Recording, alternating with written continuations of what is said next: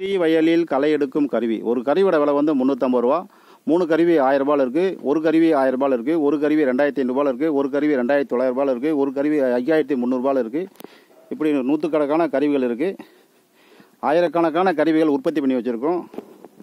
தேவைப்படுறவங்க கூப்பிடலாம். நன்றி. வணக்கம்.